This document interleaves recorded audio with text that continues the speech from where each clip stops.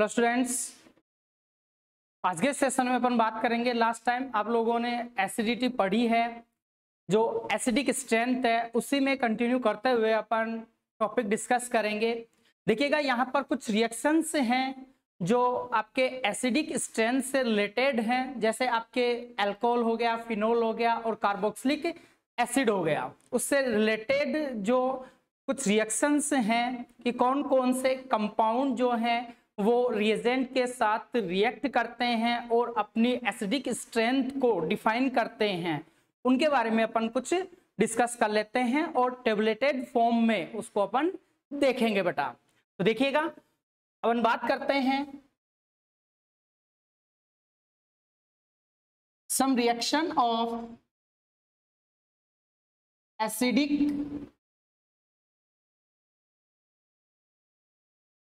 acidic strength some reaction of acidic strength. इसमें देखिएगा कौन सा रिएजेंट यूज़ किया जा रहा है? तो अपन लिख सकते हैं रिएक्शन विथ फिर बनने वाला जो प्रोडक्ट है, उसको अपन देखेंगे और रिएक्शन गिवन बाय। तो आपके फ़र्स्ट हो जाता है अल्कोहल, सेकेंड हो जाता है फिनॉल, और थर्ड हो जाता है कार्बोक्सिलिक एसिड। क्लियर बेटा? तो देखो, जब भी अपन बात करते हैं, फ़र्स्ट कि कोई भी एक्टिव मेटल के साथ, एक्टिव मेटल्स, लाइक आपके सोडियम, पोटेशियम, एल्यूमिनियम। ये हो गए। इनके साथ कौन कौन रिएक्ट कर पाता है? तो देखिएगा, यहाँ पर अल्कोहल जो है, वो रिएक्ट करेगा और प्रोडक्ट के फॉर्म में हाइड्रोजन गैस रिलीज़ करवाता है। हाइड्रोजन गैस यहाँ पर प्रोड्यूस होती है। ऐसे ही एरोमेटिक अल्कोहल जिसे आप कह रहे हैं फिनॉल फिनोल भी रिएक्ट करता है यहाँ पर और अपनी एसिडिटी डिफाइन करता है और हाइड्रोजन गैस रिलीज़ करता है। ऐसे ही एसिड एसिड भी यहाँ पर क्या करेगा बेटा? हाइड्रोजन गैस रिलीज़ कर रिएक्टिविटी शो करता है। क्लियर तो अपन कह सकते हैं यहाँ पर कि एल्कोहल फिनॉल और एसिड तीनों ही क्या होते हैं? एसिडिक नेचर के होते हैं। सेकेंड आ जाता है आपके सोडियम हाइड्राइड के साथ। सोडियम हाइड्राइड के साथ रिएक्ट करते हैं तो हाइड्रोजन गैस रिलीज़ होता है। ठीक है? तो यहाँ पर अल्कोहल रिएक्ट करेगा, फिनॉल भी रिएक्ट करेगा और एसिड भी रिएक्ट करता है बेटा। ठीक है? इसके बाद अपन बात करते हैं थर्ड, सोडियम एमाइन की सोडियम एमाइन भी अल्कोहल फिनॉल और एसिड के साथ रिएक्ट कर प्रोडक्ट देता है। यहाँ पर प्रोडक्ट बन जाएगा आपके अमोनिया क्लियर तो अपन कह सकते हैं, यहाँ पर अल्कोहल रिएक्ट करेगा फिनॉल भी रिएक्ट करेगा और कार्बोक्सिलिक एसिड भी रिएक्ट करता है। क्लियर नेक्स्ट देखिएगा। ग्रिन्यार रिएजेंट ग्रिन्यार रिएजेंट के बारे में सभी बच्चे जानते होंगे बेटा, ठीक है? आर एम जी एक्स जिसे कॉमन फॉर्मेट में लिखते हैं, यहाँ अपन यूज़ कर रहे हैं C S three M G B R methyl magnesium bromide ठीक है? तो देखिएगा, जब भी ग्रिन्यार रिएजेंट की बात की जाती है बेटा तो ग्रिन्यार रिएजेंट जो होता है, वो अल्कोहल फिनॉल और कार्बोक्सिलिक एसिड के साथ रिएक्ट कर हाइड्रोकार्बन, जैसे यहाँ पे आप मिथाइल ग्रुप ले रहे हैं तो बनेगा प्रोडक्ट मेथेन। हाइड्रोकार्बन में चेंज हो जाता है बेटा, ठीक है? तो अपन कह सकते हैं अल्कोहल भी रिएक्ट करेगा ग्रिनियर एजेंट के साथ फिनोल भी रिएक्ट करेगा, और कार्बोक्सिलिक एसिड भी रिएक्ट करेगा बेटा, ठीक है? इसके बाद अपन बात करते हैं यहाँ पर आप ले सकते हैं जैसे NaOH सोडियम हाइड्रोक्साइड तो अपन कहेंगे सोडियम हाइड्रोक्साइड एल्कोहल के साथ रिएक्ट नहीं कर पाता। क्यों? क्योंकि यहाँ पे डिसोसिएशन एनर्जी में डिफरेंस आ जाता है बेटा। तो अपन कहेंगे यहाँ कि ये कोई रिएक्शन नहीं करेगा। बट कार्बोक्सिलिक एसिड रिएक्ट करेगा और फिनॉल भी रिएक्ट नहीं करेगा। कार्बोक्सिलिक एसिड यहाँ पर H2O प्रोडक्ट प्रोड्यूस करता है बेटा। ठीक है? तो अपन कह सकते हैं NaOH H2O रिलीज़ करेगा किसके साथ? ओनली एसिड के साथ कार्बोक्सिलिक एसिड के साथ। ठीक है? यहाँ पे अल्कोहल और फिनोल के साथ कोई रिएक्शन शो नहीं करता है। क्लियर बेटा? नेक्स्ट आता है आपके यहाँ पर NaHCO3 क्या आता है बेटा? NaHCO3 सोडियम बाइकार्बोनेट बोल लो या फिर सोडियम हाइड्रोजन कार्बोनेट बोल दो। क्लियर तो अपन कह सकते हैं, यहाँ पर जो प्रोडक्ट होगा वो H2CO3 बनता है। ठीक है? बट अल्कोहल और फिनोल कोई रिएक्शन नहीं करते। नॉर्मल अल्कोहल और नॉर्मल फिनोल यहाँ पर कोई रिएक्शन नहीं करते सोडियम बाइकार्बोनेट के साथ। क्लियर इसमें केवल एसिड ही रिएक्ट करता है। ठीक है? और क्या प्रोड्यूस करता है? H2CO3 इसको आप यूँ भी लिख सकते हैं बेटा। एच H2O प्लस CO2 इस फॉर्म में भी इसको लिखा जा सकता है। ठीक है? अब देखिएगा, यहाँ पर NaHCO3 में आपने काफ़ी बार क्वेश्चन देखे होंगे कि फिनोल भी रिएक्ट कर रहा है और प्रोडक्ट बना रहा है। बट अपन ने अभी अभी बात की है, फिनोल कोई रिएक्शन नहीं कर रहा। तो यहाँ पर एक्सेप्शन है एक बेटा। एक्सेप्शन हो जाता है आपके नाइट्रोफिनॉल क्या हो जाता है? एक्सेप्शन आपके, नाइट्रोफिनोल। अब नाइट्रोफिनोल जो है, वो मोनोनाइट्रोफिनोल हो सकता है डाई नाइट्रोफिनोल हो सकता है और ट्राई नाइट्रोफिनोल हो सकता है। तो ये जो है, वो रिएक्शन करता है सोडियम बाई कार्बोनेट के साथ। ठीक है? और प्रोड्यूस करेगा H2O और CO2, ठीक है? तो अपन कह सकते हैं यहाँ पर कि एसिडिक स्ट्रेंथ द्वारा एसिडिक स्ट्रेंथ द्वारा यहाँ पर बनने वाले जो भी प्रोडक्ट होंगे, वो ये होंगे, ठीक है? यहाँ पर देखिएगा एक्टिव मेटल के साथ आप रिएक्शन करवा रहे हैं एल्कोहल की फिनॉल की और कार्बोक्सिलिक एसिड की। तो हाइड्रोजन गैस रिलीज़ हो रही है सोडियम हाइड्राइड के साथ करवाते हैं तो भी हाइड्रोजन रिलीज़ होती है। सोडियम एमाइन के साथ करवाते हैं तो अमोनिया प्रोड्यूस होता है। ठीक है? और ये तीनों रिएक्ट करते हैं। ग्रिनिया रिएजेंट देखिएगा गिरना रिएजेंट एक ऐसा रिएजेंट है जो कंप्लीट ऑर्गेनिक केमिस्ट्री में ऑलमोस्ट कंपाउंड के साथ रिएक्ट कर जाता है। क्यों? इसकी रिएक्टिविटी हाई होती है। ठीक है? तो अपन कह सकते हैं, ये एसिड ऑलमोस्ट ये तीनों क्या है? एसिड हैं। तो अपन कहेंगे एसिड के साथ रिएक्ट करते ही ये हाइड्रोकार्बन मेथेन में कन्वर्ट हो जाता है बेटा। क्लियर यहाँ पर NaOH की बात करें तो एल्कोहल और फिनोल कोई रिएक्शन नहीं कर रहे। ठीक है? कोई रिएक्शन नहीं करते बट एसिड रिएक्शन कर H2O रिलीज़ करवाता है। क्लियर क्यों?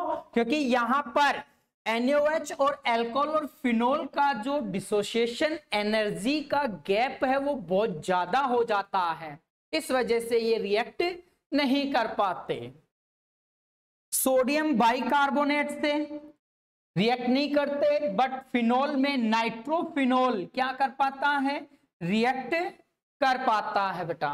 ठीक है? तो अपन कह सकते हैं कि मोनोनाइट्रोफिनोल या वन नाइट्रोफिनोल यू बोल सकते हैं आप। टू नाइट्रोफिनोल बोल सकते हैं और थ्री नाइट्रोफिनोल बोल सकते हैं। ठीक है? तो यहाँ पर देखिएगा मोनोडाइट्राई क्यों कहा गया है? कि एक से ज़्यादा नाइट्रो ग्रुप यहाँ पर ऐड किए जा सकते हैं। तो उस कंडीशन में भी ये क्या करेगा? रिएक्ट करेगा किसके साथ? सोडियम हाइड्रोजन कार्बोनेट के साथ या सोडियम बाई कार्बोनेट के साथ ये रिएक्ट करता है बेटा। ठीक है? इसमें आपको कोई डाउट हो तो आप मैसेज कर सकते हैं। और इसका स्क्रीनशॉट ले लीजिएगा बेटा।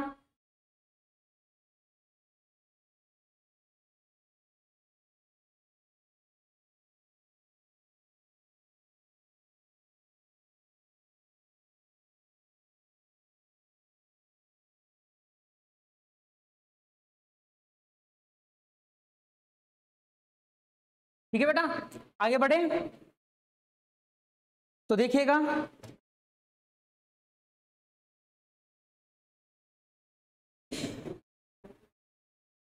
ये तो हो गया बेटा, आपके एसिडिक स्ट्रेंथ से रिलेटेड कुछ रिएक्शन के क्वेश्चन पूछ लिए जाते हैं यहाँ से। और डेफिनेट क्वेश्चन आता है यहाँ से।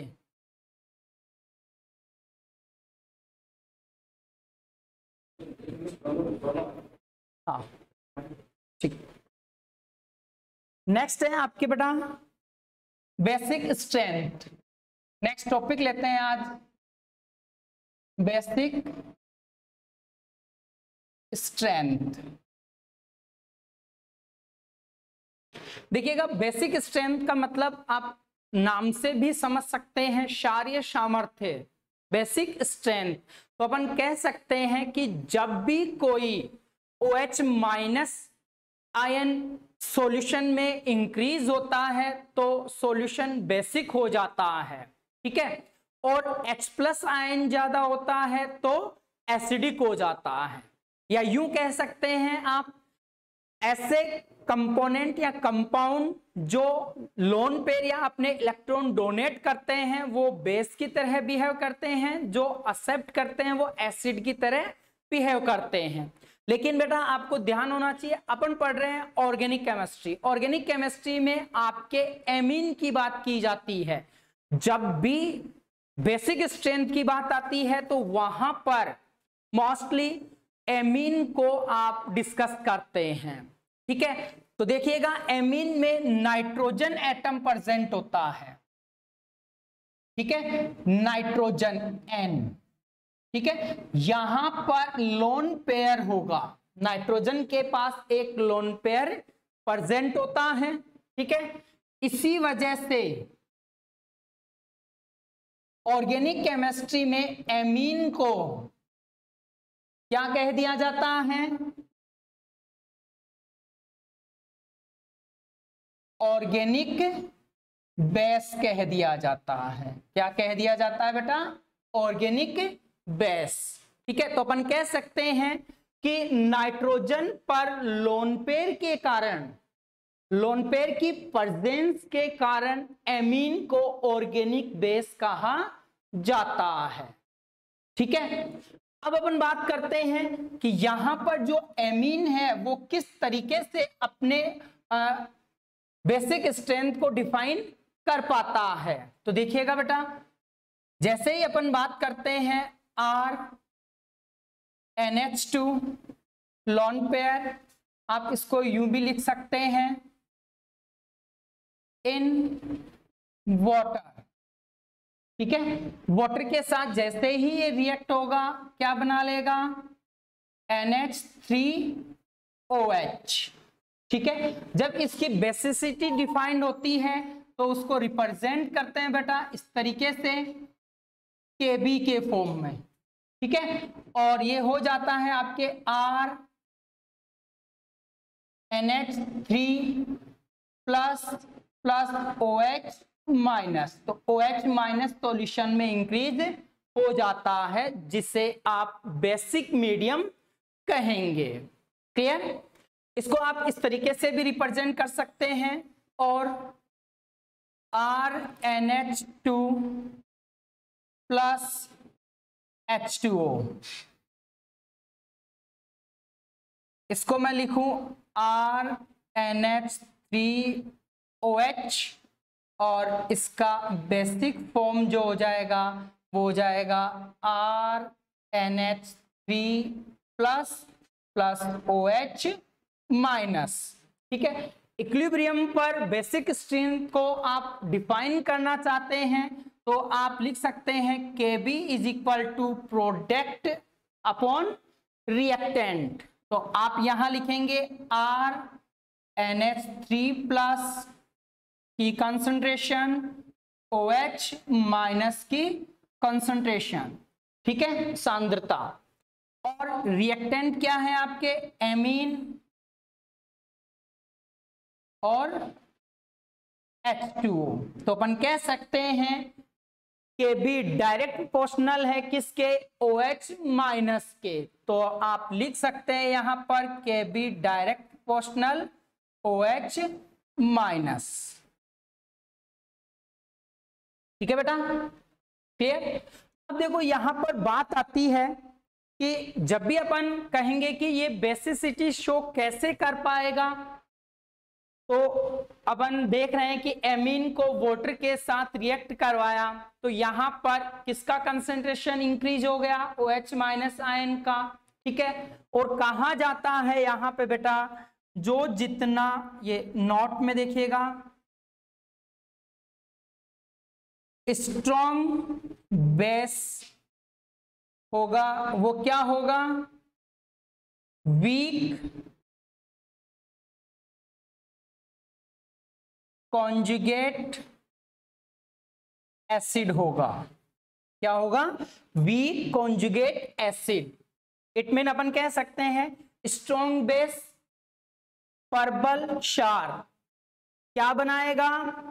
वीक दुर्बल संयुग्मी अम्ल बनाएगा बेटा। क्या बनाएगा? दुर्बल संयुग्मी अम्ल बनाता है।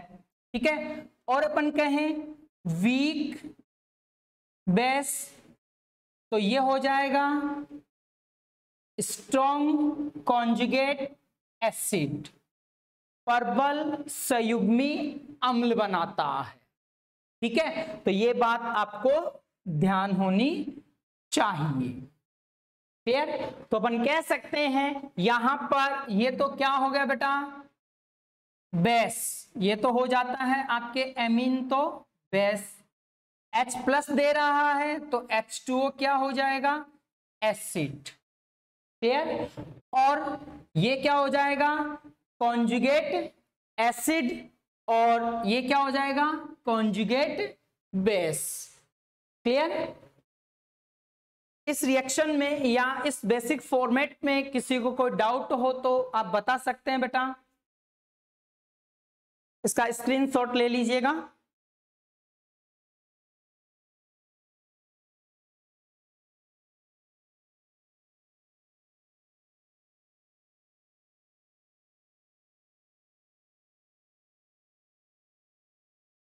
ठीक है? आगे बढ़ते हैं अपन।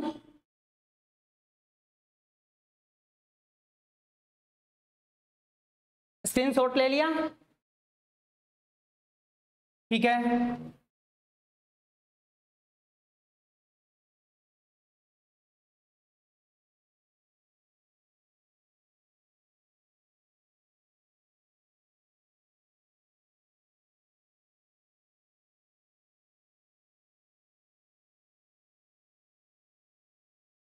अब देखिएगा बेटा, इसमें बात करेंगे बेसिक स्ट्रेंथ में कि किस तरीके से एमीन के एग्ज़ाम्पल लें, ठीक है? और वहाँ पे इसकी रिलेटिविटी देखें।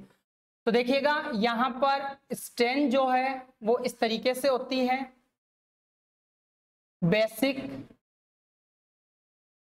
स्ट्रेंथ डायरेक्ट प्रोपोर्शनल हो जाती है आपके लॉन पेयर डेंसिटी के। ठीक है? देखो, जब भी एमीन की आप बेसिक स्ट्रेंथ देखते हैं तो यहाँ पर दो फैक्टर सबसे ज़्यादा यूज़ किए जाते हैं। फ़र्स्ट हो जाता है आपके लॉन पेयर डेंसिटी क्या हो जाता है बेटा? लोन पेयर डेंसिटी ठीक है? दूसरी हो जाती है आपके स्टेबिलिटी ऑफ़ प्रोटोनेटेड एमीन क्या हो जाता है? प्रोटोनेटेड एमीन का स्टेबिलिटी ठीक है? अब देखो, जब भी अपन बात करते हैं कि रिलेशन क्या होगा कि रिलेशन से आप, आपके बेसिक स्ट्रेंथ को बताना हो तो आप बता सकते हैं। Basic strength, direct proportional, lone pair, density मतलब लोन पेयर की डेंसिटी जितनी ज़्यादा होगी, वो उतना ही ज़्यादा बेसिक होगा। कंपाउंड जो एमीन है वो। और अपन कह सकते हैं ये इन्वर्सली होता है। ई डब्ल्यू जी मतलब इलेक्ट्रॉन विड्रेविंग ग्रुप इलेक्ट्रॉन ग्राही समूह के। या आप यहाँ पर लिख सकते हैं माइनस आई इफ़ेक्ट क्या लिख सकते हैं बेटा? माइनस आई इफ़ेक्ट लिख सकते हैं। ठीक है? कि जितना माइनस आई इफ़ेक्ट इंक्रीज होगा बेसिसिटी उतनी ही डिक्रीज हो जाती है। क्लियर ऐसे अपन बात करते हैं, ये डायरेक्ट प्रोपोर्शनल होता है ई डी जी या आप लिख सकते हैं E R G electron donating group और electron releasing group.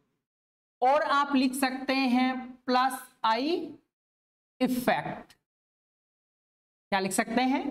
Plus I effect ठीक है? ये रिलेशन है। इसमें एक रिलेशन आता है आपके बेसिक स्ट्रेंथ इनवर्सली होता है lone pair delocalization lone pair delocalization एकाकी इलेक्ट्रॉन युग्म का विस्तानीकरण। ठीक है? तो अपन कह सकते हैं कि वास्तव में विस्तानीकरण है क्या? जानते बेटा? देखिएगा विस्तानीकरण का मतलब है कि कोई भी लोन पेयर जैसे अपन बात करते हैं एनिलीन की। ये क्या बेटा? एनिलीन है? है कि नहीं? एनिलीन के नाइट्रोजन के पास लोन पेयर है। कॉन्जुगेट सिस्टम संयुग्मी निकाय इसके साथ अटैच है। ठीक है? संयुग्मी निकाय कॉन्जुगेट सिस्टम अटैच है। अब यहाँ से लोन पेयर माइग्रेट करता है बेंजीन रिंग की और बेंजीन रिंग में इलेक्ट्रॉन डेंसिटी बढ़ा देता है। तो लोन पेयर का माइग्रेशन ही क्या कहलाता है? लोन पेयर डीलोकेलाइजेशन कहलाता है बेटा। ठीक है? तो ये बात क्लियर हो गई कि लॉन पेयर डिलोकेलाइजेशन के इनवर्स होता है बेसिक स्ट्रेंथ। क्लियर? वो अपन बात करेंगे स्टेबिलिटी ऑफ़ प्रोटोनेटेड एमीन में। ठीक है? तो एक बार मैं ये रिलेशन आपको बता दे रहा हूँ दोबारा से। तो देखिएगा, बेसिक स्ट्रेंथ डायरेक्ट प्रोपोर्शनल होता है लॉन पेयर डेंसिटी के, कि जैसे जैसे लॉन पेयर की डेंसिटी इंक्रीज होगी बेसिसिटी भी इंक्रीज होगी। ऐसे ही अपन बात करते हैं कि बेसिक स्ट्रेंथ इनवर्सली होता है ईडब्ल्यू e या माइनस आई इफ़ेक्ट के। बेसिक स्ट्रेंथ डायरेक्ट प्रोपोर्शनल होता है ईडीजी ग्रुप के या ईआरजी और अपन लिख सकते हैं प्लस आई इफ़ेक्ट के। ठीक है बेटा? ओके और लॉन पेयर डीलोकेलाइजेशन के इनवर्सली होता है। क्लियर यहाँ पर देखिएगा, कुछ एग्ज़ाम्पल हैं, उनको अपन डिस्कस कर लेते हैं।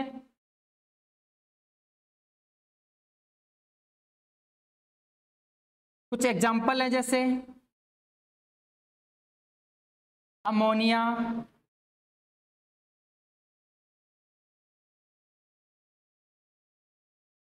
phosphine.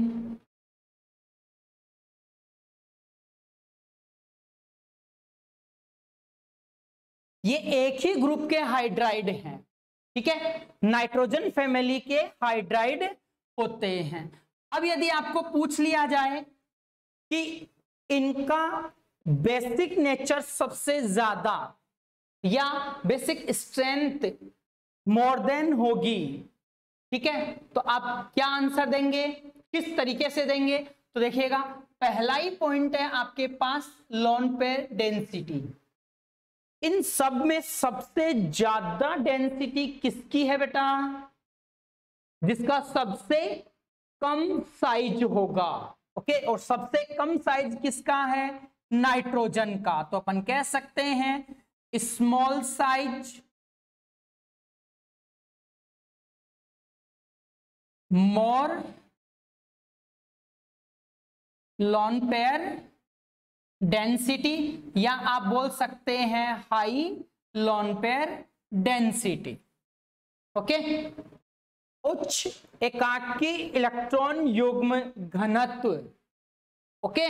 तो अपन कहेंगे कि जिसका साइज़ सबसे छोटा होगा, उसका लोन पेयर डेंसिटी ज़्यादा होगा और जिसका लोन पे डेंसिटी ज़्यादा होता है, बेसिक स्ट्रेंथ उतनी ही ज़्यादा हो जाती है बेटा। ठीक है? तो अपन कह सकते हैं ऑर्डर में सबसे ज़्यादा अमोनिया का बेसिक स्ट्रेंथ होगा और ये फाइनल ऑर्डर हो जाता है। ठीक है? नेक्स्ट एग्जांपल लेते हैं आप। C L N H two H N H two C S three N H two और एक हो जाता है C two H five N H two इसमें बेसिक स्ट्रेंथ का ऑर्डर बताइए। मान लेते हैं इसको ए बी सी और ये हो गया डी तो बेसिक स्ट्रेंथ सबसे ज़्यादा होगी। बताइए बेटा।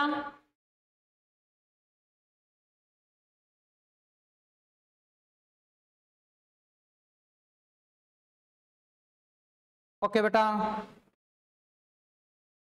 बताओ बताओ, इसका बेसिक स्ट्रेंथ बताइए।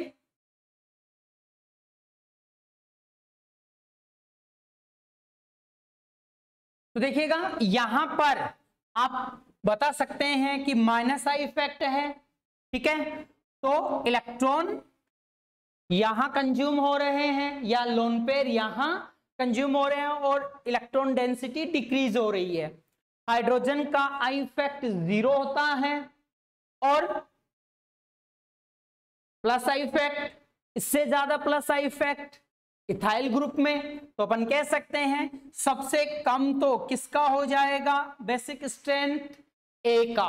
और सबसे ज़्यादा डी का। तो ऑर्डर क्या हो जाएगा बेटा? डी सी बी और ए ये ऑर्डर हो जाता। है क्लियर ये बेसिक स्ट्रेंथ का ऑर्डर होगा। ठीक है? ऐसे ही अपन देखते हैं। ये स्क्रीनशॉट ले लीजिएगा इसका।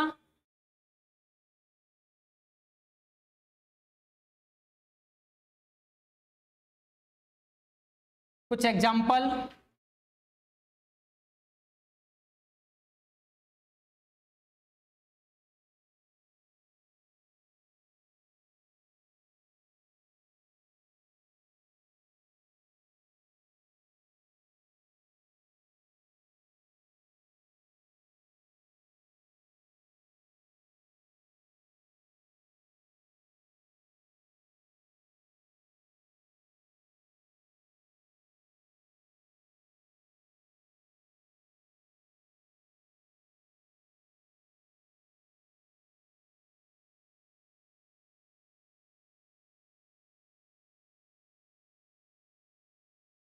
बताइए इसमें बेसिक स्ट्रेंथ का ऑर्डर बताइए।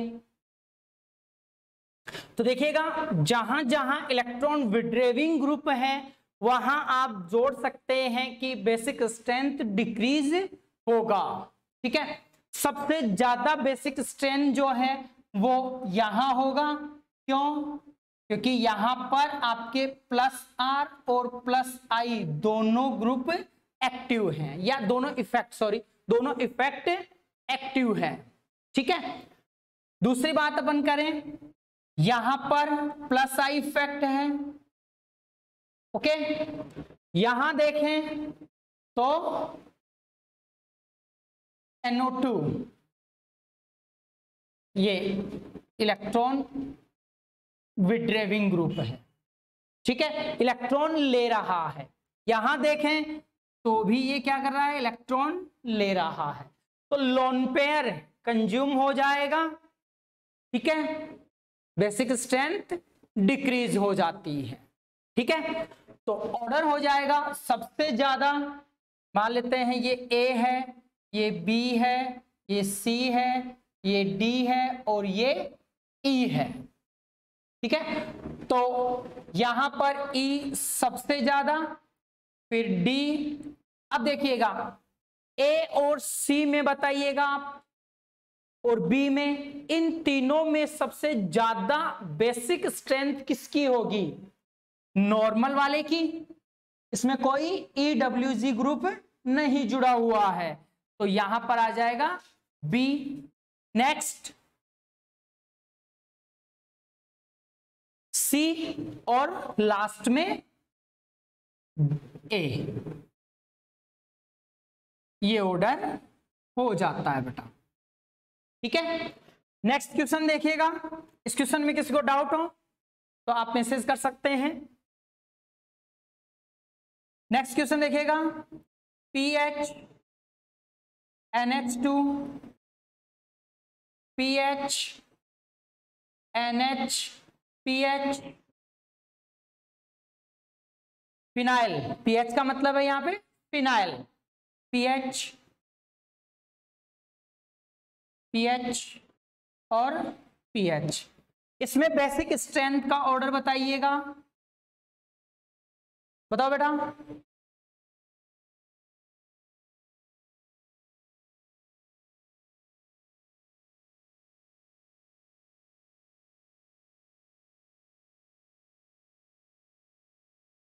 प्रेम स्वामी बी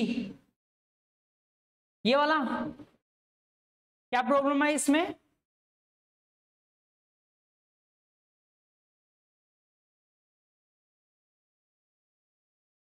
अच्छा इन तीनों में ज़्यादा बेसिक स्ट्रेंथ बी की। हाँ बिल्कुल। सही है।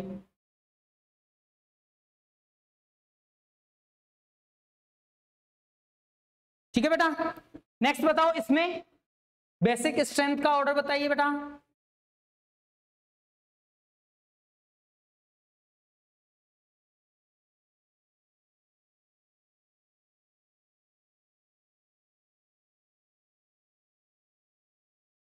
देखो, यहाँ पर रेजोनेंस है। इन रेजोनेंस जिससे लॉन पेयर ट्रेप कर लिया जाता है। यहाँ पर दो फिनाइल ग्रुप आ गए तो ज़्यादा टाइम तक लोन पेयर को ट्रेप किया जाएगा और यहाँ पर तीन फिनाइल ग्रुप आ गए तो और भी ज़्यादा टाइम तक लोन पेयर को ट्रेप किया जाएगा या पकड़ा हुआ रखा जाएगा।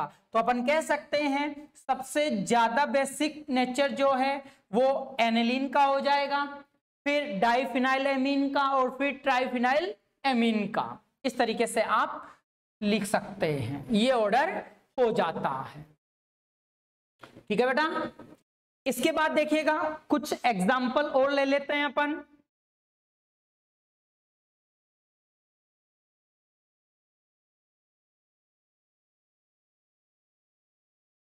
नोट कर लिया होगा? इरेज कर दें।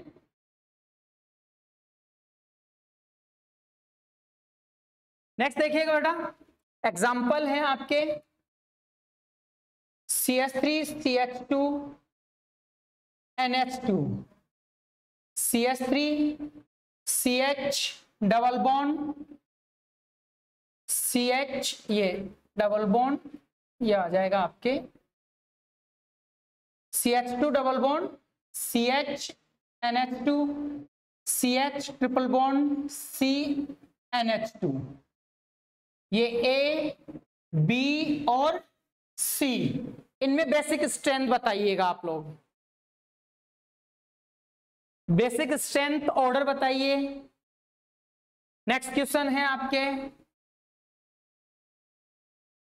C H three C H two N H two C H three C H double bond N H C H three C triple bond N A B और सी दोनों क्वेश्चन को solve करिएगा बेटा। यहाँ पर देखिएगा। प्लस आई इफ़ेक्ट ठीक है? बेसिक स्ट्रेंथ इंक्रीज यहाँ देखिएगा। इस कार्बन को देखिएगा। Sp2 हाइब्रिडाइज कार्बन मतलब s कैरेक्टर हाई हो गया। इस कार्बन के कंपेरेटिवली इस कार्बन का s कैरेक्टर हाई हो गया। S कैरेक्टर हाई हो गया मतलब इलेक्ट्रॉन नेगेटिविटी हाई हो गई। इसका मतलब माइनस आई इफ़ेक्ट जनरेट हो जाता है। ऐसे ही यहाँ पर sp ठीक है? एस कैरेक्टर और ज़्यादा हाई हो गए तो नेगेटिविटी और ज़्यादा हो गई। तो अपन कह सकते हैं कि यहाँ पर ए सबसे ज़्यादा बेसिक नेचर का होगा, फिर बी और सी सबसे कम बेसिक नेचर का होगा बेटा। क्लियर ओके नेक्स्ट देखिएगा बेटा। इन तीनों में बताइएगा।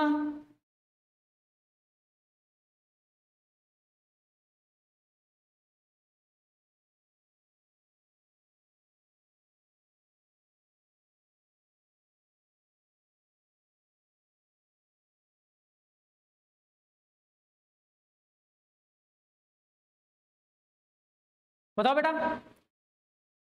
फटाफट बताइए ये।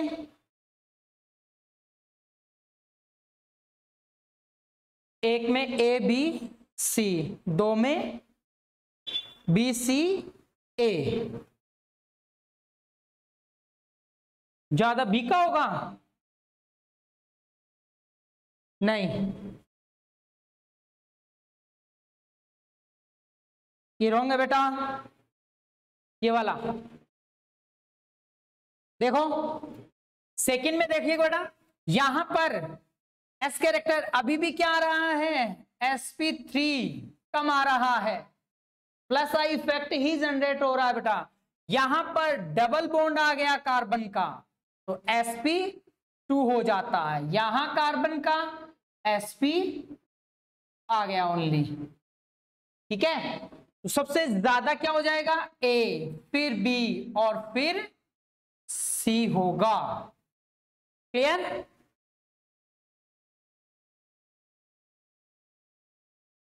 ठीक है बेटा?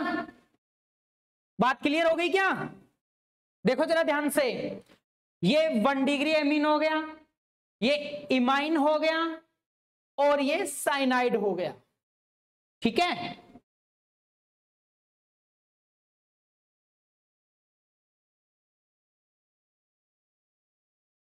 तो यहाँ पर किसका ऑर्डर होगा बेटा?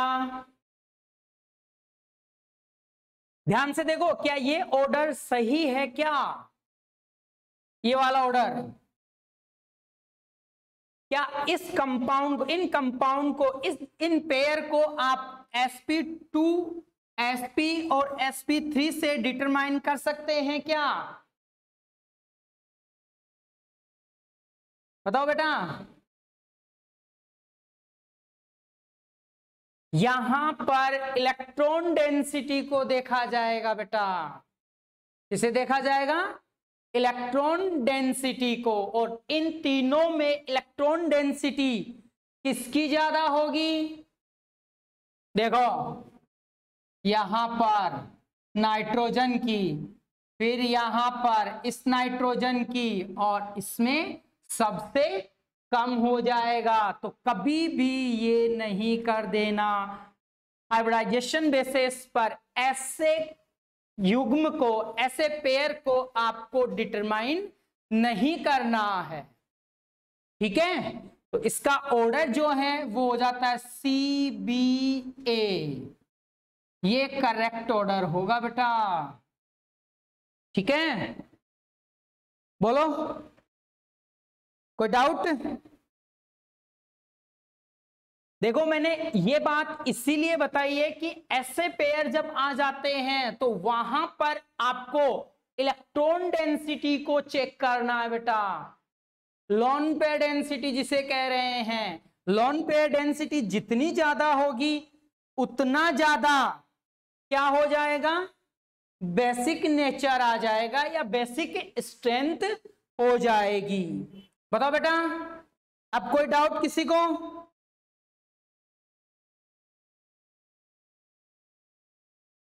ओके बेटा। नेक्स्ट देखो। यहाँ पर मैं एक क्वेश्चन और ले लेता हूँ आपके लिए। अक्सर बच्चे गलती कर जाते हैं। तो देखिएगा।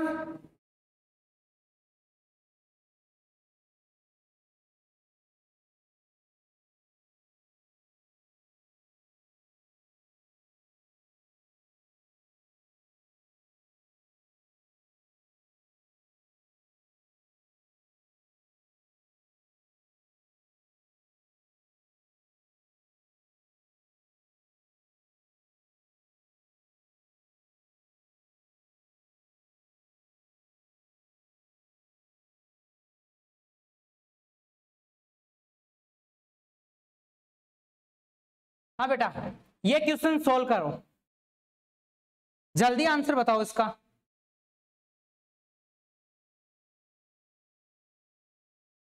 सबसे ज़्यादा बेसिक स्ट्रेंथ किसकी होगी इसमें? ऑर्डर क्या होगा? मान लेते हैं, ये हो गया ए ये बी ये सी और ये डी इनमें सबसे ज़्यादा बेसिक स्ट्रेंथ किसकी होगी? इस कंपाउंड में। ये इस क्वेश्चन में, इन कंपाउंड्स में बेसिक स्ट्रेंथ किसका ज़्यादा होगा, बताइएगा बेटा।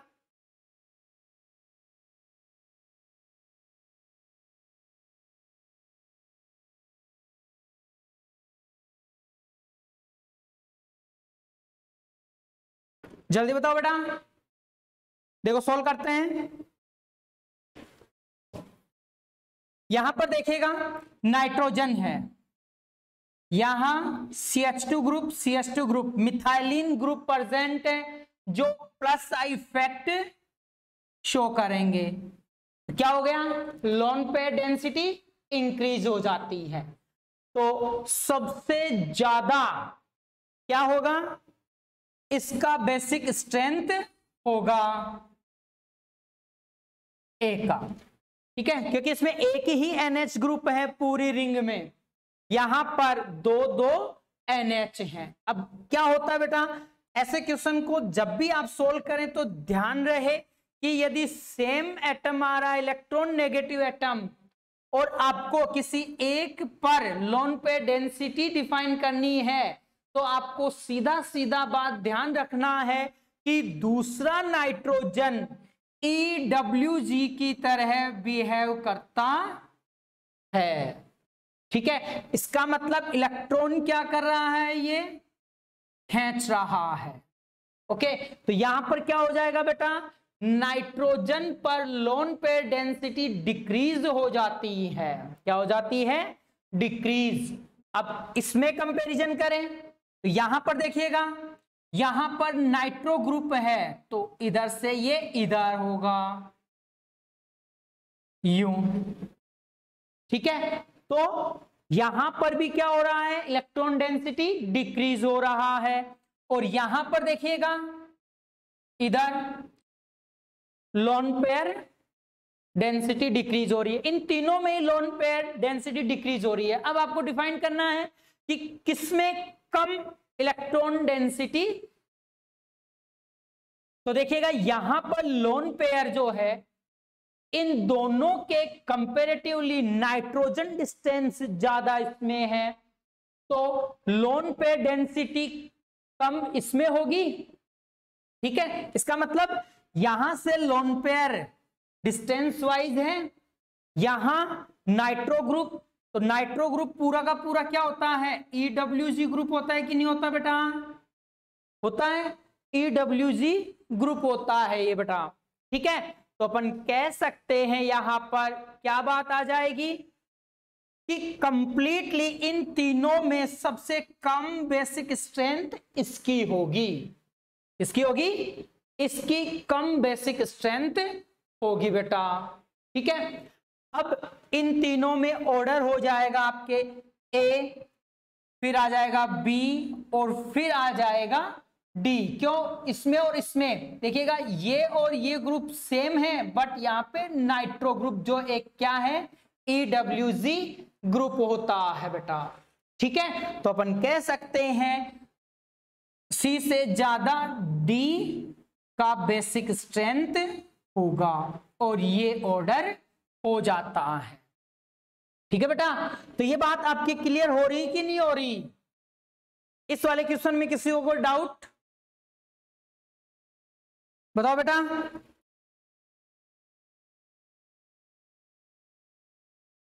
पक्का? क्लियर हुआ? ये सारे पॉइंट्स ओके नेक्स्ट चलते हैं अपन। अब देखिएगा, ये हो गया इसमें मोस्टली लॉन पेयर डेंसिटी जो ऑर्डर है, उसके अकॉर्डिंग ऑलमोस्ट क्वेश्चन आपके इसी टाइप से पूछे जाते हैं। अब अपन बात करते हैं स्टेबिलिटी ऑफ़ प्रोटोनेटेड एमीन की। स्टेबिलिटी ऑफ़ प्रोटोनेटेड एमीन को। तो देखिएगा, किस तरीके से इसकी स्टेबिलिटी को डिफाइन किया जाता है?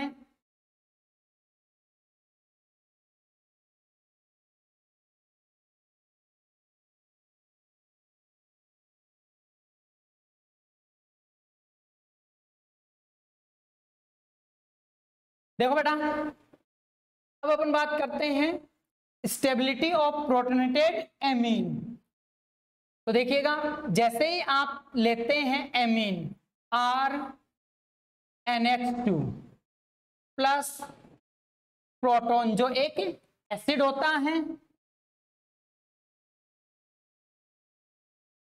क्या हो जाएगा ये? R N S three plus protonated form में आ जाता है। अब इसको क्या कहा जाएगा? प्रोटोनेटेड एमीन कहा जाएगा बेटा। क्या हो जाएगा? Protonated amine okay?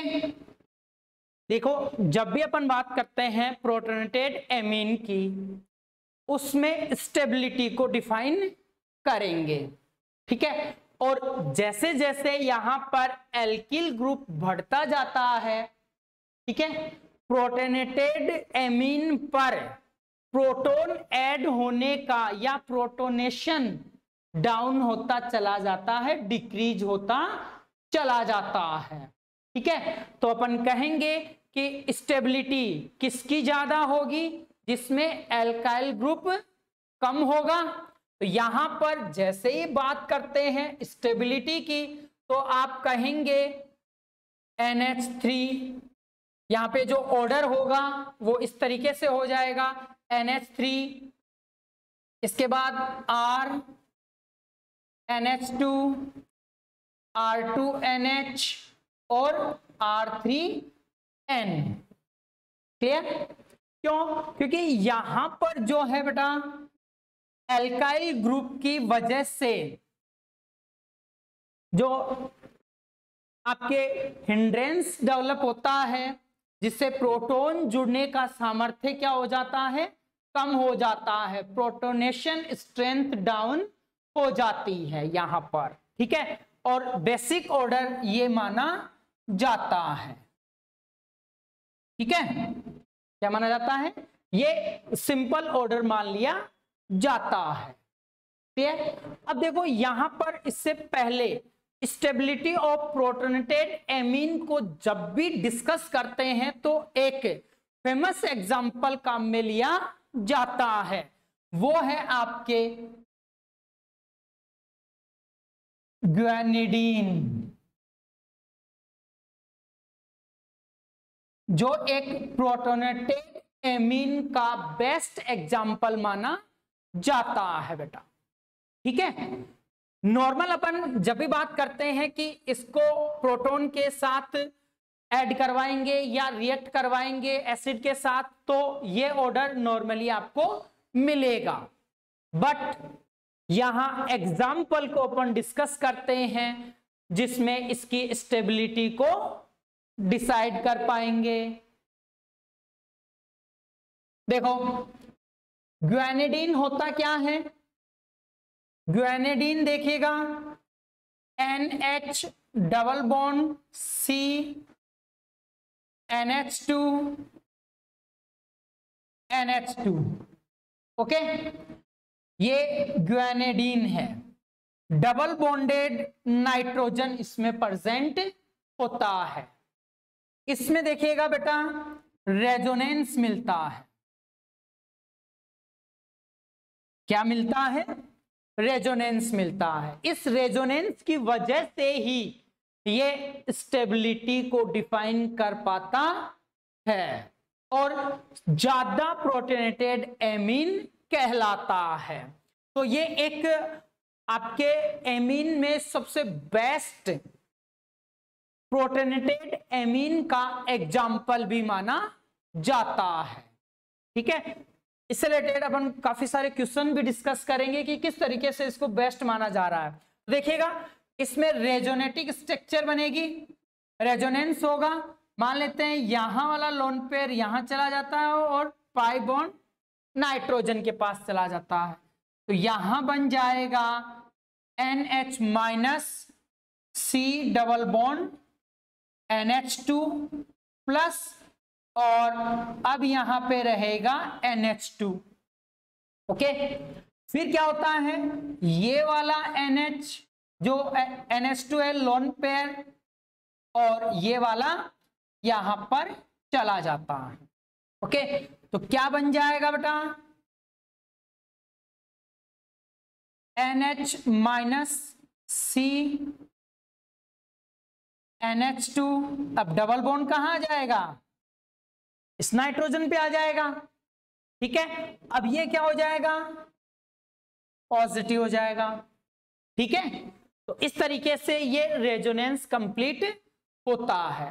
अब अपन बात कर रहे हैं प्रोटोनेटेड एमीन की, कि प्रोटोनेटेड एमीन कब कहा जाएगा इसको? तो देखो बेटा, इसमें रेजोनेंस हो रहा है, इसका रेजोनेटिक हाइब्रिड जो है वो हो जाता है आपके एन एच इसको मैं यू लिख सकता हूँ।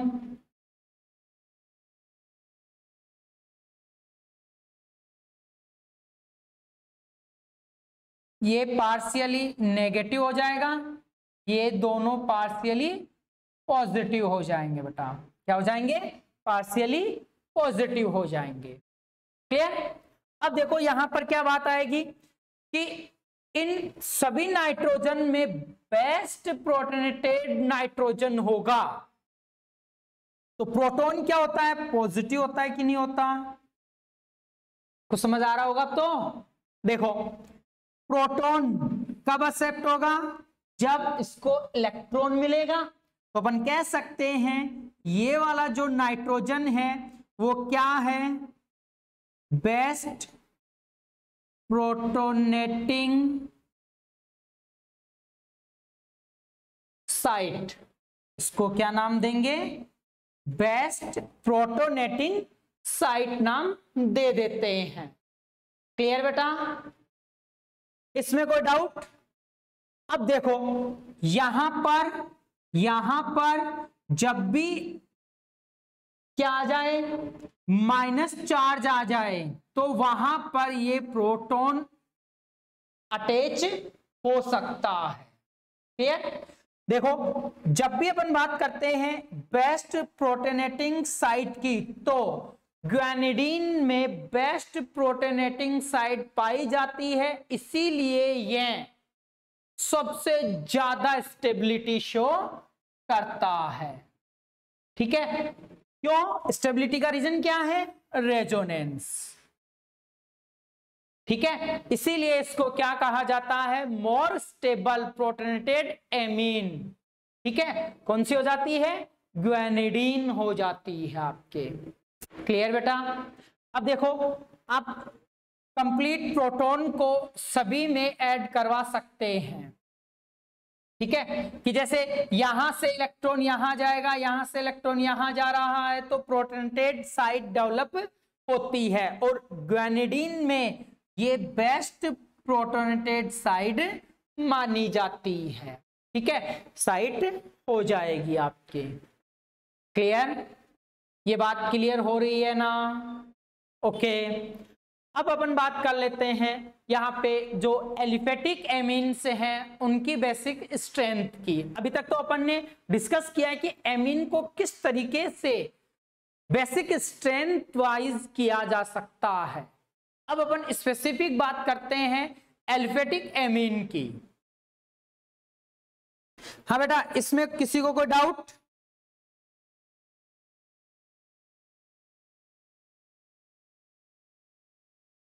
अच्छा ठीक है। आगे बढ़े।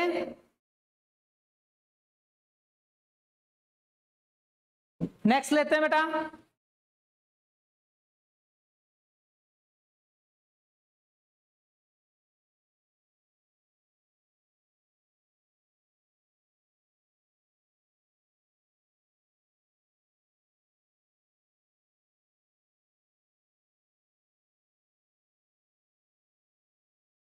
आगे चलें?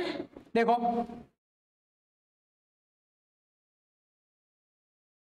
Basic strength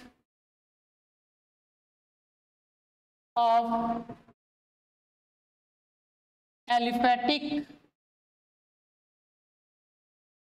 amine basic strength of aliphatic amine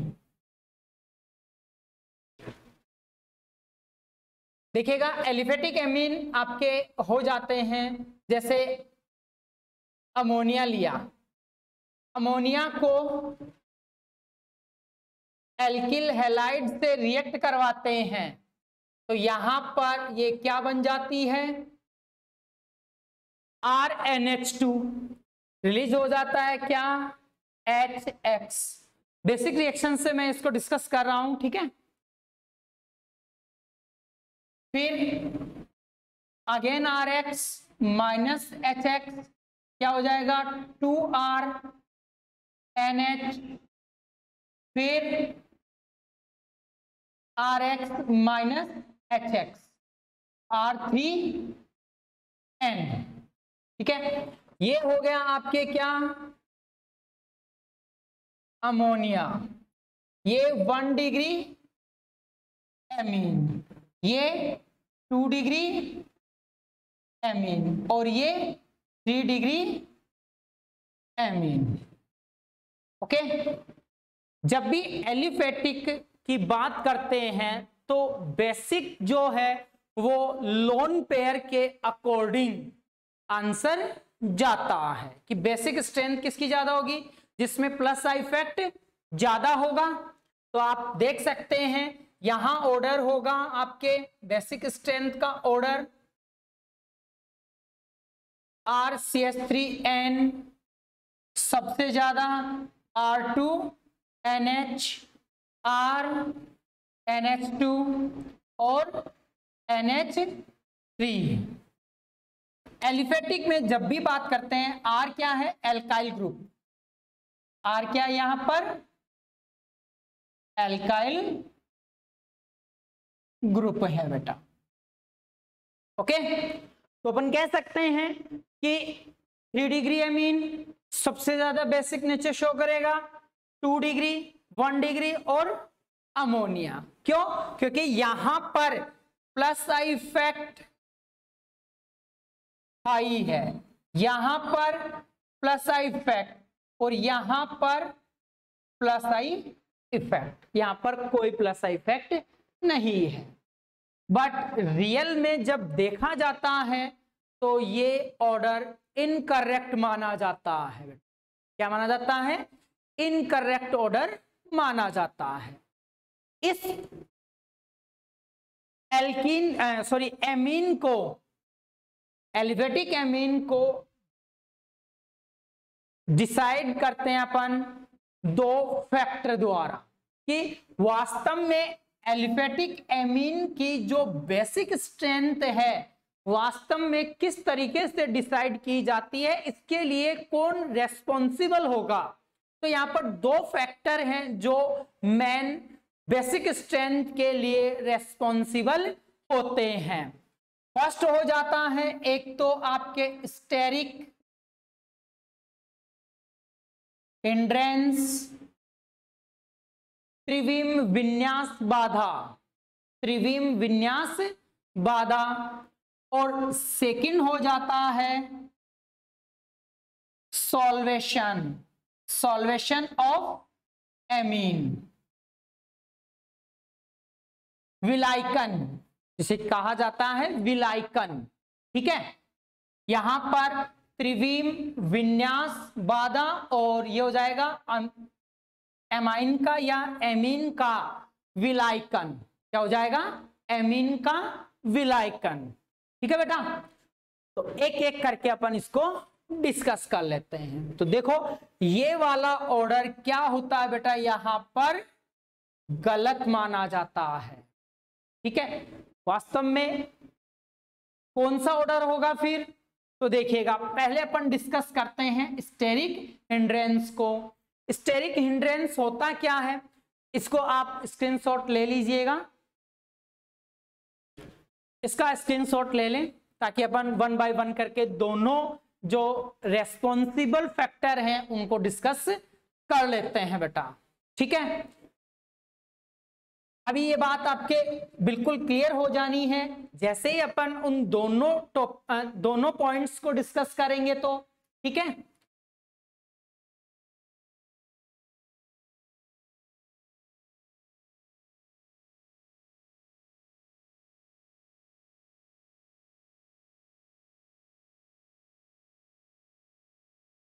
first हो जाता है।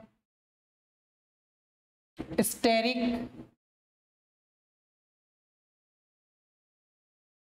हिंड्रेंस क्या हो जाएगा? स्टेरिक हिंड्रेंस देखिएगा, स्टेरिक हिंड्रेंस जो होता है, वो अपन कह सकते हैं कि जैसे जैसे एल्काइल ग्रुप बढ़ेगा एल्काइल ग्रुप इंक्रीज होगा स्टेरिक हिंड्रेंस भी इंक्रीज होता है और यहाँ पर आपके स्टेरिक इफ़ेक्ट की वजह से प्रोटॉन जो है वो अटैच नहीं हो पाता। ठीक है? तो अपन कहेंगे NH3 R NH2 R R2 NH R3 N. सबसे ज़्यादा स्टेरिक इनहेडेंस देखिएगा, इसमें तो R है, इसको आप यू डिनोट कर सकते हैं। और इसको आप यू लिख सकते हैं।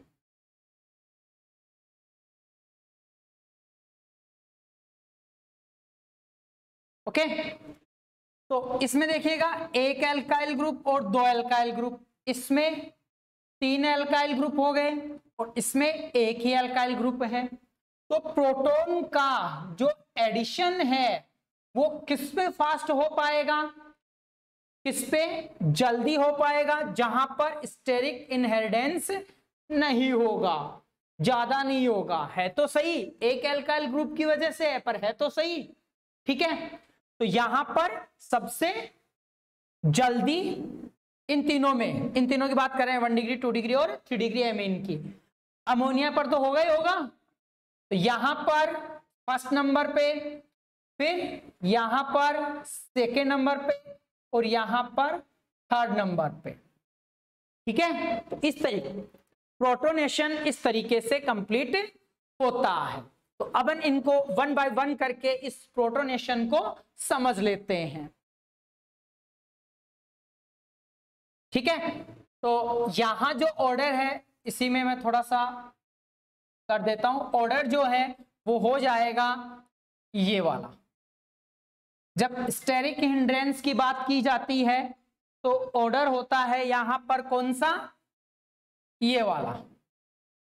ओके? क्लियर ये वाला ऑर्डर यहाँ पे देखने को मिलता है आपको कि किसका बेसिक नेचर सबसे ज़्यादा होगा, किसकी वजह से? स्टेरिक हिंड्रेंस की वजह से। त्रिवीम, विन्यास, बाधा के कारण। ओके बेटा? सेकंड हो जाता है आपके।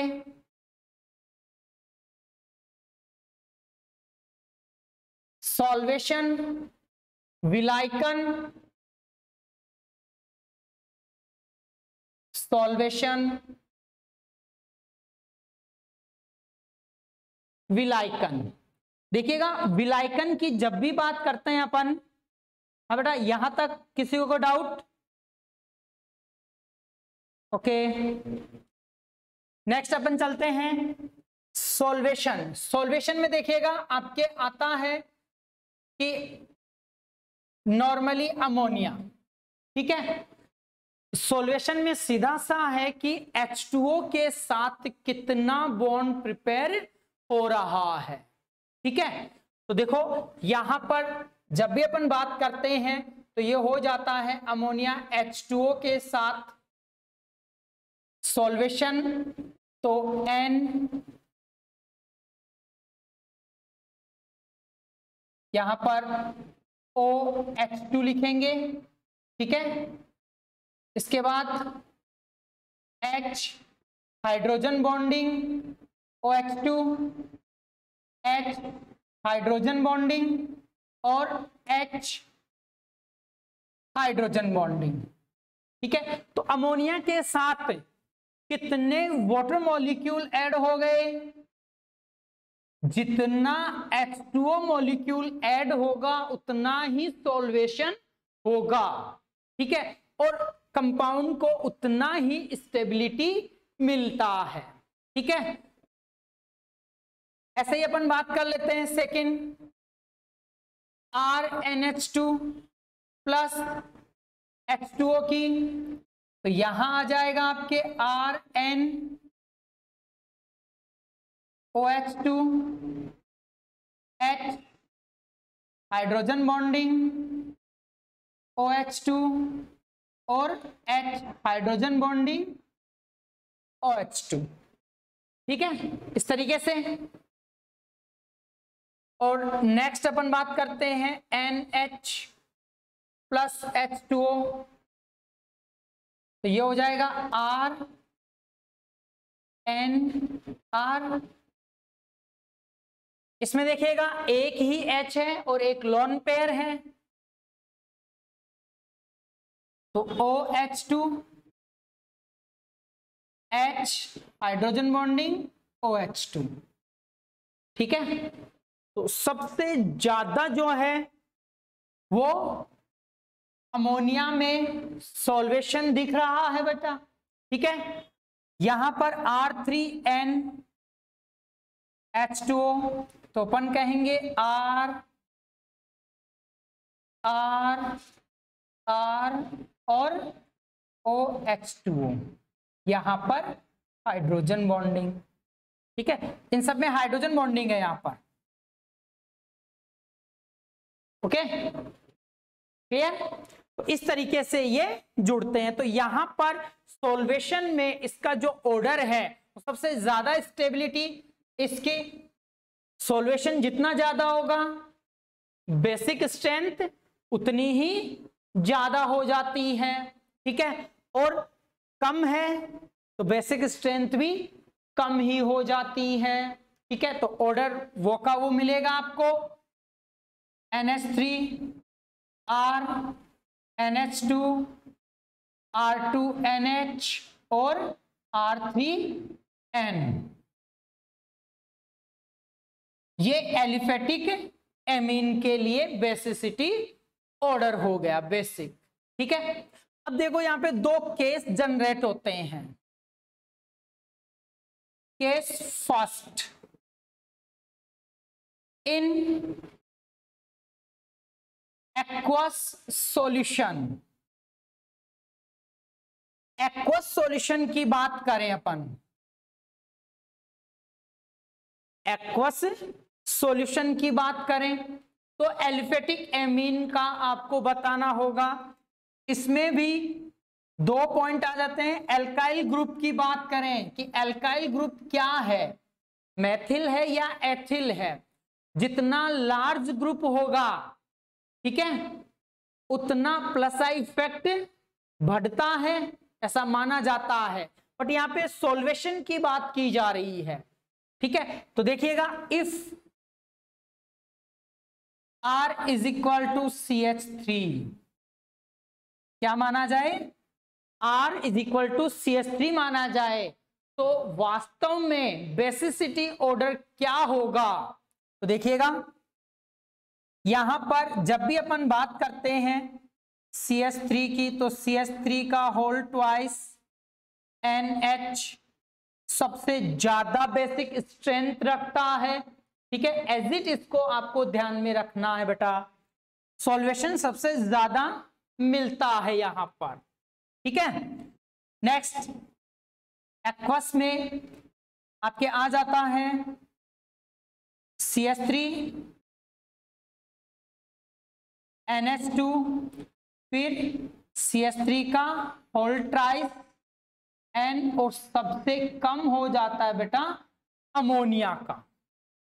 ओके तो जब एल्काइल ग्रुप मेथिल हो तो two degree amine one degree amine three degree amine और अमोनिया ये वाला ऑर्डर आपको देखने को मिलता है बेटा। ठीक है? इसके बाद अपन बात करते हैं। हाँ बेटा, कोई डाउट किसी को? इसके बाद जब एल्काइल ग्रुप एथिल हो तो ऑर्डर हो जाता है आपके बेटा।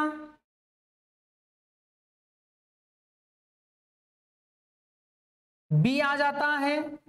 If R is equal to C two H five तो देखिएगा ऑर्डर मिलेगा। सी एस टू ये सी टू एच फाइव का whole twice N H C two H five का होल ट्राइस एन और C two H five N H two और ammonia ठीक है? Two degree amine three degree amine one degree amine और ammonia ठीक है? तो ये तो हो गया आपके क्या? एक्वस फॉर्म में। Case number first. क्या आ जाएगा? इन एक्वस सॉल्यूशन में। ये वाला ऑर्डर मिलेगा और ये वाला ऑर्डर मिलेगा। केस सेकंड देखते हैं बेटा। तो केस सेकंड में आपके जो ऑर्डर मिलता है, वो हो जाएगा। देखिएगा, वेपर फ़ेज़ की बात की जाती है। और हमेशा ध्यान रखना, वेपर फ़ेज़ में लॉन पेयर, क्या? लॉन पेयर डेंसिटी मैन होती है। या लॉन पेयर डेंसिटी के अकॉर्डिंग इसका आंसर दिया जाता है। किसमें? वेपर फ़ेज़ में। ठीक है? तो जैसे जैसे एल्काइल ग्रुप इंक्रीज होगा, वैसे वैसे बेसिक स्ट्रेंथ इंक्रीज होगी। ठीक है? तो ये बात आपको ध्यान होनी चाहिए। तो अपन कह सकते हैं ammonia R N H two one degree amine फिर टू डिग्री अमीन और फिर थ्री डिग्री अमीन ये वाला ऑर्डर वेपर फ़ेज़ के लिए हो जाएगा, ठीक है? मोस्टली कभी कभी बार ऐसा होता है कि कुछ नहीं दिया हुआ क्वेश्चन में और ऑर्डर पूछ लिया जाता है। तो आपको क्या बताना है बेटा? सीधा सीधा आपको बता देना है एक्वस को लेते हुए। सबसे ज़्यादा अच्छा विचार करना है एक्वस को लेकर, ठीक है? जलीय अवस्था में। ये वाष्प अवस्था की बात है और ये एक्वस सॉल्यूशन में या एक्वस फ़ेज़ की बात हो जाती है। ठीक है? जलीय प्रावस्था। जलीय प्रावस्था में ये ऑर्डर आपको बताना है। ठीक है? नॉर्मली क्या करना है? जब क्वेश्चन में कुछ नहीं दिया हुआ मैथिल है तो ये ऑर्डर एथिल है तो ये ऑर्डर आपको बता देना है। ठीक है बेटा? यहाँ किसी को कोई डाउट तो इस तरीके से दो फैक्टर हैं यहाँ पर भी, जो क्या कर रहे हैं? एलिफेटिक एमीन को या एलिफेटिक एमीन की बेसिक स्ट्रेंथ को डिसाइड कर रहे हैं। क्लियर तो इसको आप नोट कर लीजिएगा स्क्रीनशॉट ले लीजिएगा।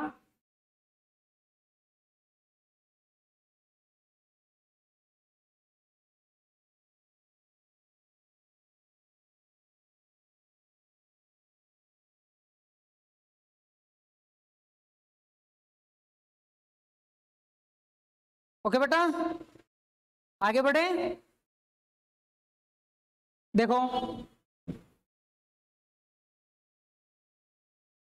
ये तो होता है एमिन से रिलेटेड बेसिक स्ट्रेंथ का कंप्लीट फॉर्मेट अब अपन बात कर लेते हैं कुछ क्वेश्चंस की, कि किस टाइप के और क्वेश्चन आ सकते हैं?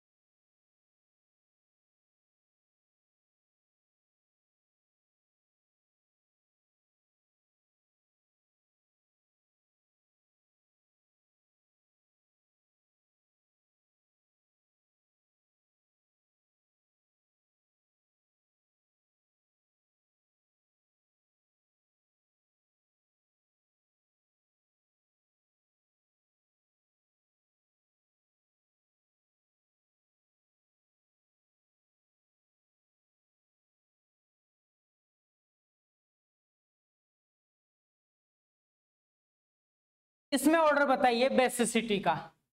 मान लेते हैं ये ए हो गया, ये बी हो गया, ये सी हो गया, ये डी हो गया और ये ई e हो गया। इनमें आपको बेसिक स्ट्रेंथ का या बेसिसिटी का ऑर्डर बताना है बेटा। बताओ, फटाफट बताओ देखें।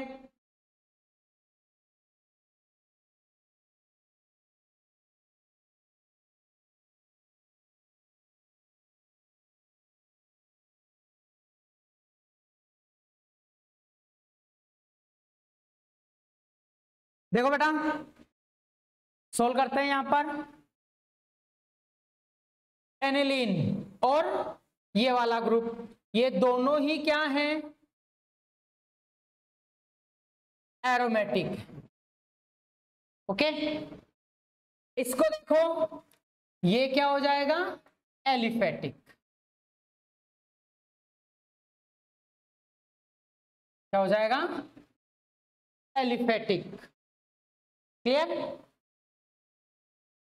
और ये दोनों एरोमेटिक हैं, पर यहाँ पर प्लस आई इफ़ेक्ट यहाँ पर प्लस आर और प्लस आई इफ़ेक्ट दोनों जनरेट हो रहे हैं। तो ध्यान रखिएगा, जब भी आप बात करते हैं एलिफेटिक एमीन की बेसिसिटी ज़्यादा होती है। उसके बाद एरोमेटिक की, ठीक है? एरोमेटिक एमीन की। ये ऑर्डर आपको ध्यान होना चाहिए। बेसिकली एलिफेटिक और एरोमेटिक एमिन ही है, ठीक है? इसमें आपको डिसाइड करना है कि एलिफेटिक एमीन कौन सा है? तो एलिफेटिक एमीन ये हो गया। ओके तो यहाँ पर क्या आ जाएगा? सी सबसे ज़्यादा हो गया। फिर देखो, इसमें एनेलिन है। ओके और इसमें नाइट्रो एनेलिन हो गया। ये मिथाइल ग्रुप जुड़ा हुआ है और इसमें मैथोक्सी ग्रुप जुड़ा हुआ है। तो इन दोनों में डिसाइड करते हैं तो ज़्यादा बेसिक नेचर इसका मिलता है। तो ई हो जाएगा बेटा, फिर हो जाता है डी फिर हो जाता है ए और फिर बी बात क्लियर हो रही है क्या? कुछ समझ आया? यहाँ पर minus effect E W G okay? यहाँ पे ई डी जी दोनों ही ई डी जी ग्रुप जुड़े हुए हैं। और एलिफेटिक एमीन में डेंसिटी ज़्यादा है। इस वजह से यहाँ पे क्या हो जाता है बेटा? सबसे ज़्यादा बेसिक स्ट्रेंथ हो जाती है। ठीक है? कुछ क्वेश्चन इस तरीके से भी आते हैं। जैसे अपन बात करते हैं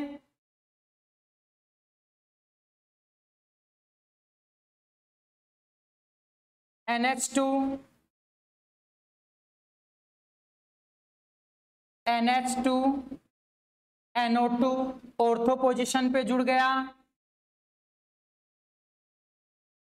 NH2 मेटा पोजीशन पे जुड़ गया NH2 पेरा पोजीशन पे जुड़ गया। सारे के सारे क्या है? एरोमेटिक एमीन है।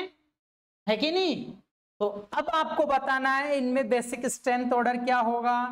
ए बी सी और डी क्या होगा बेटा, बताओ जरा।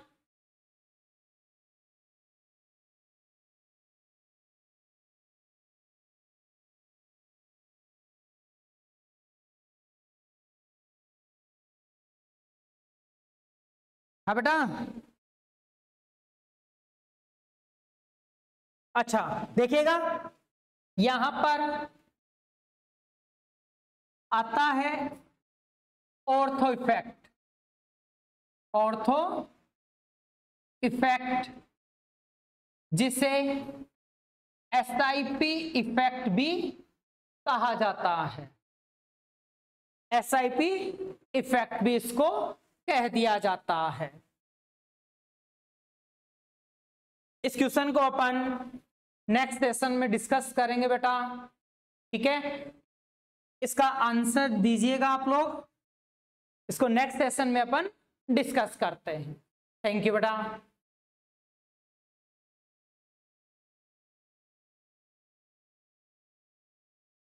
लंबा हो गया क्या? है? नहीं फिर इतना सा होगा नहीं घंटे भर का और रहेगा गया टॉपिक क्वेश्चन ये टॉपिक होगा तब होगा ही क्वेश्चन। हाँ हाँ इसको कल ले लेंगे अपन आगे। कंटिन्यू